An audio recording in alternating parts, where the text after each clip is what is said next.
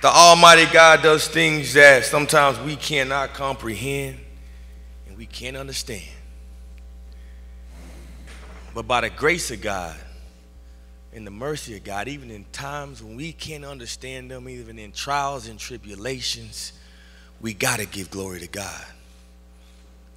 This is a test, a test of our faith. So many people in this room work so hard. But I tell you what, there's not another man on this planet that I wouldn't have his back and do this all over again. Can I get an amen?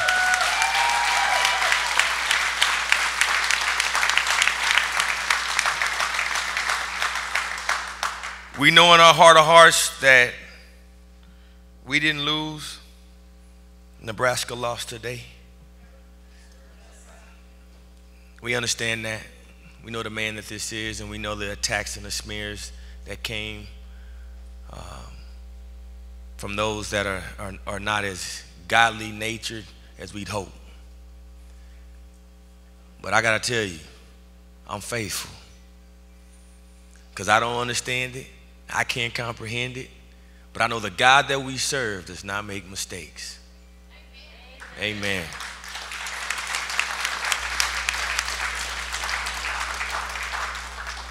And I know my brother Charles Herbster, and he ain't done fighting.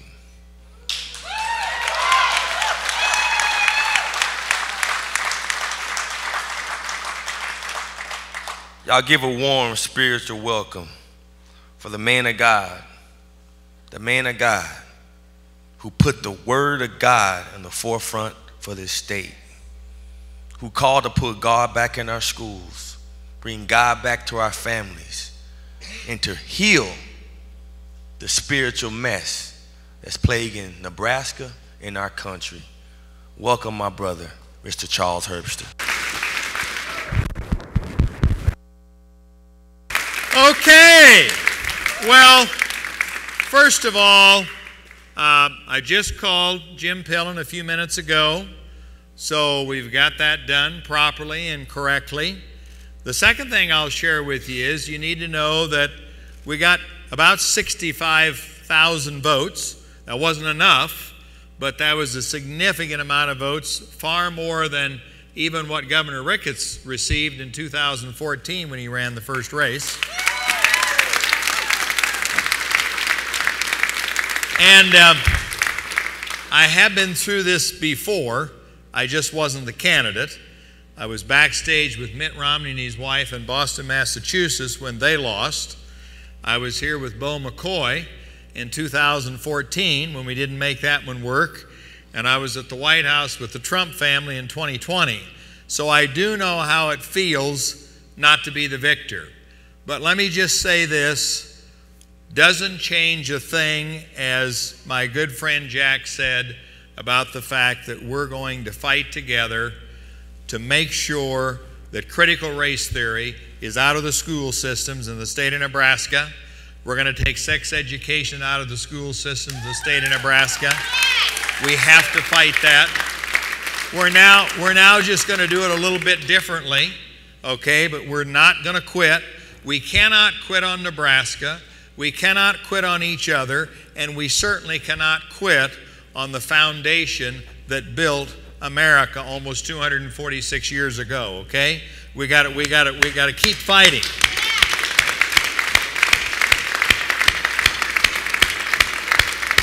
I want to say thank you to a group of people, certainly Ellen Keast, who was the campaign manager,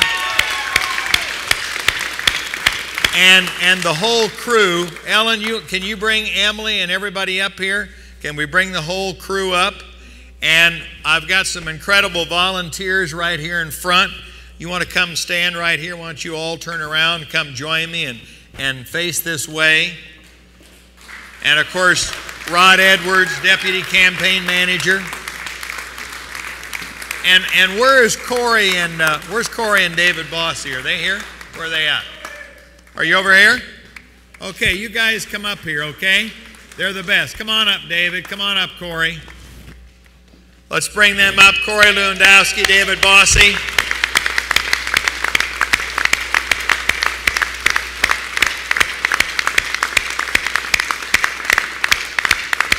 These guys, these guys are fighters. They know how to fight. They're fighters. And if you haven't seen the new movie Rig that David Bossie just introduced here about three weeks ago, you need to see that new movie. It's incredible.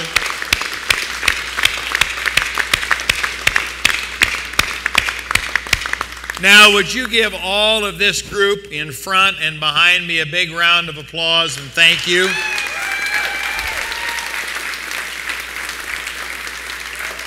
That's not good enough. Come on.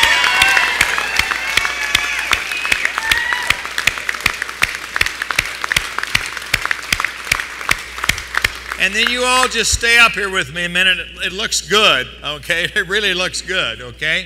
And then we've got the women for Herbster. Just, just raise your hand. I know we've got some t shirts out there, but if you're women for Herbster, even if you don't have your shirt on,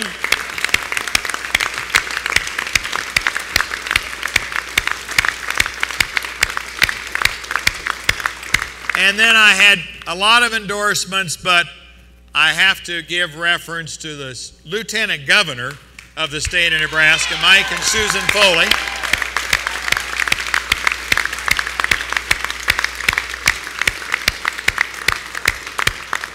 and Colonel Tom Nesbitt. Colonel Tom?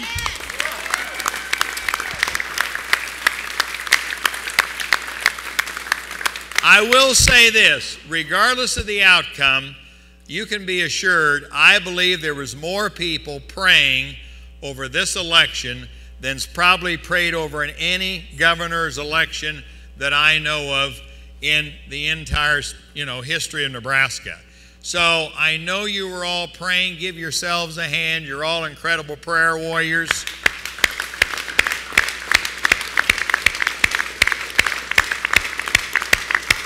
And then I have Michelle Keithley, who's been with me for five years. She's my executive assistant, and I have Brandon, and I've got Ashley. Where are you at? Oh, Ashley, come on, Ashley, come on out here. You're not supposed to be back there by yourself. Let's bring Ashley up here. Michelle, you want to come up and join your son? Okay.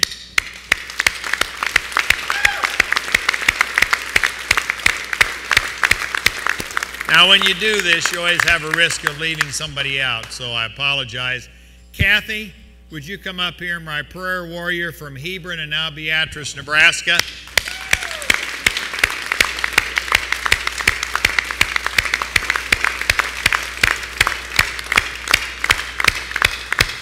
And let me just say that this, I have been told by many people, Corey and David maybe have some thoughts on this, that this is probably one of the nastiest governor campaigns in the state of Nebraska.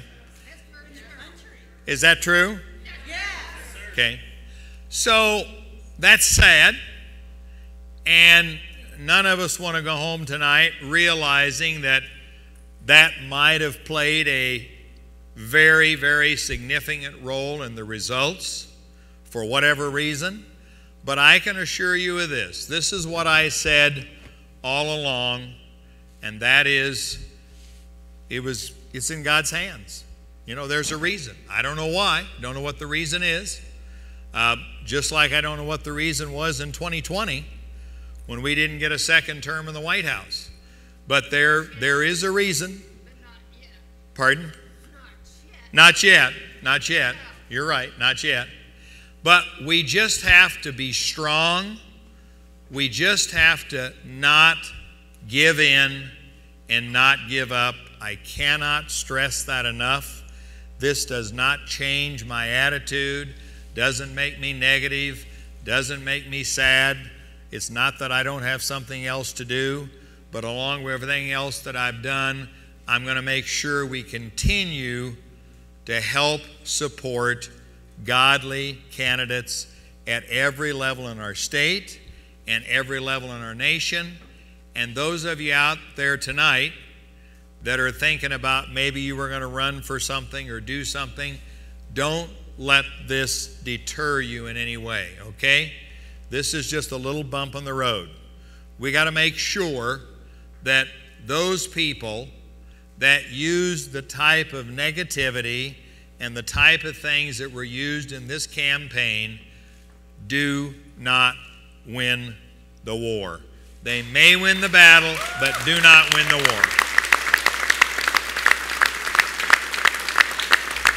Now, I, I know I've got Senator Erdman, Senator Briese, Senator Halloran, and their wives. Would you all wave your hand because they all gave me early endorsements?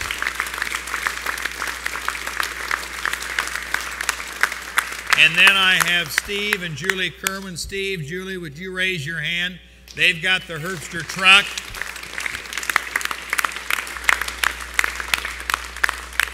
And then Jim Smith. Jim, would you raise your hand? Jim was incredible in so many great things we did in Omaha. And I can tell you, we did some really great things in Omaha, did we not? We did. I mean, just think, we didn't win, but we had about 65, 66,000 people who voted for what all of you have been involved in over the past several months. And we got to give all of those people a hand, okay?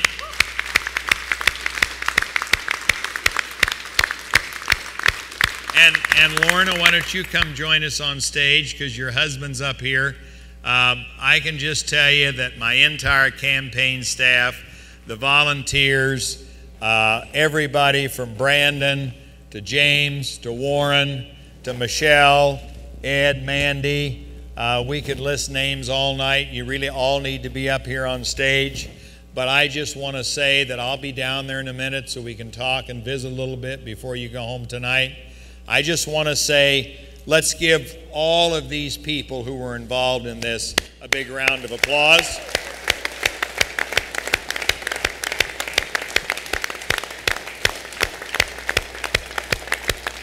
And, and let me just let me just kind of wrap it up by saying this. I said this all along, and I meant it, and I mean it tonight. I said I would rather take the shot at running for governor and not succeed than to not have taken the shot and think always, what if I would have tried?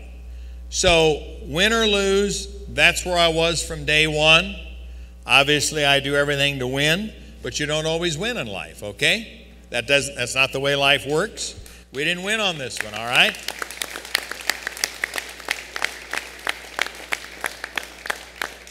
But I just want to encourage you we have to try to unite the Republican Party in Nebraska. It's going to take some it's going to take some work and we're going to have to band together, those of us who are godly conservatives. But I would just share with you that we have to do that. It's necessary. I'm going to go to the event tomorrow and obviously have the chance to shake Jim Pillen's hand and congratulate him. I want him to know that. I called him tonight. We had a chat on the phone. Um, I am going to have Corey and David come up here just a minute, if you would, both of you guys, please, over here, because you have been so involved at a national level with this campaign, and I think it would be good if maybe you just came up here and each shared just a little bit from your heart about the campaign, what you saw, what you feel, and um, just share a little bit. Well, first, first, first of all, I just want to. I don't. Got a mic I, over I'm- I don't need a mic. Uh, I, everybody can hear me just fine. I just want to say thank you for doing what you did, putting yourself out. It's a hard thing to do. Oh, it's And not what- easy. And, and what you said, this was a tough, dirty, nasty campaign, and I'm sorry you went through it, but you're a better man for it. And as you said, this is God's plan. We don't know why, but uh, I just want to say thank you for what you did for Nebraska and for talking about the issues like you did. So we appreciate. I, I just want to say thank you to Charles. for doing that.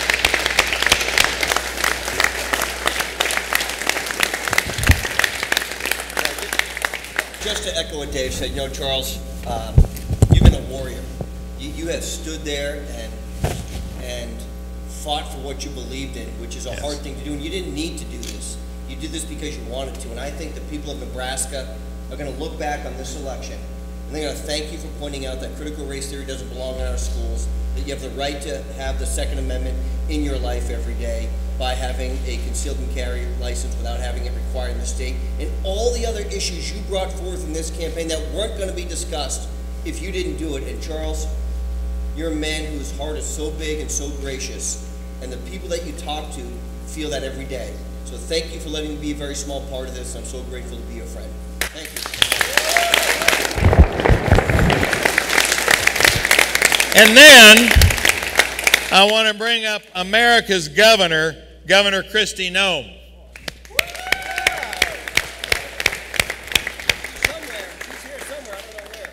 She here?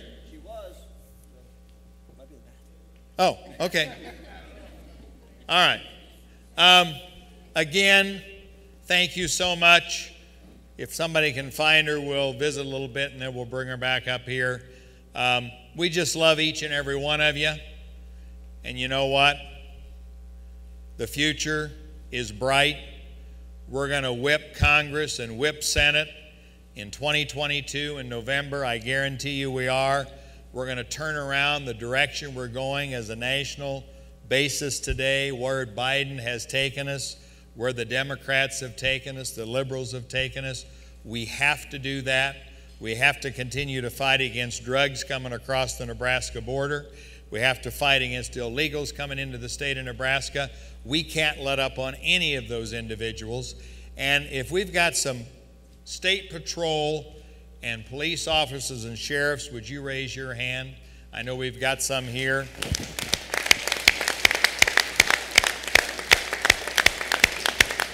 My, my, my, one, one of my most difficult things is I was absolutely convinced that I was going to have the opportunity to do some incredible things for our troopers and for our police officers and for law and order and for our sheriffs and deputy sheriffs. I love all of those individuals. I love our veterans. In fact, if you're a veteran, would you raise your hand? All our veterans raise their hand. Let's give them a round of applause.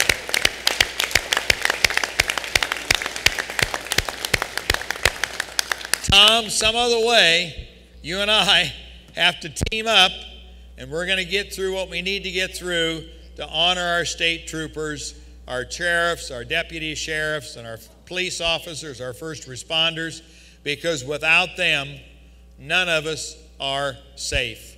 We have to honor them. None of them are none of us are safe without them.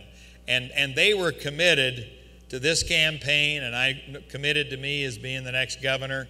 So please make sure that message gets to everybody. And we're still going to invite him here and have some prime rib, okay? We're still going to do that, all right? Uh, God bless each and every one of you. Is Kristi here yet? Anybody? Okay. All right.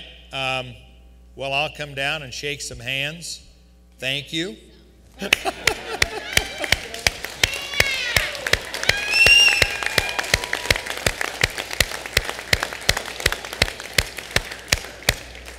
God bless each and every one of you. Thank you so much. And I'm going to come down and join you, okay?